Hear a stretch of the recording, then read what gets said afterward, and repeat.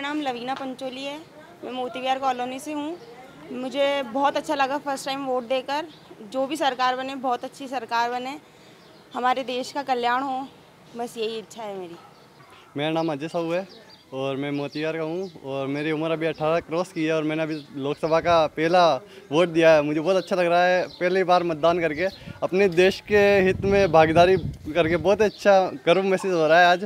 और मैं यही चाहता हूँ कि अपना देश का विकास हो। जो भी सरकार बने वह सब सर्वनिष्ठा से अपना कार्य करे और अपने देश को प्रगति की ओर अग्रसर करे। यही कहना चाहता हूँ और सभी से ये कहना चाहता हूँ कि सभी बढ़ चढ़ कर इस त्यौहार में इस मतदान के त्यौहार में हिस्सा ले और सभी अधिक अधिक से अधिक मतदान करें और एक अच्छी सरकार बनाने में अपनी भागीदारी निभाए। विशाल सेन मैंने फ़र्स्ट बार वोट दिया है। मेरे को बहुत अच्छा लगा। आने वाली सरकार अच्छी मैंने और मेरे को अच्छा लगा। आने वाली सरकार विकास करे देश का।